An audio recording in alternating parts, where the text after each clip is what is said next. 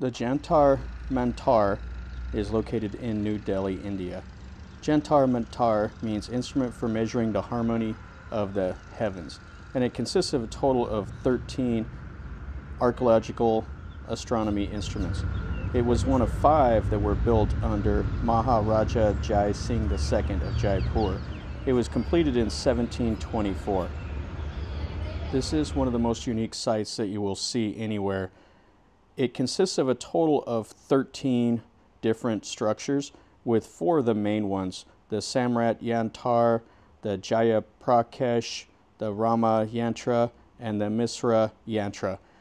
They consist of like sundials, concave surfaces, and they were used to measure the latitude and longitude of the Earth and the planets and the Sun.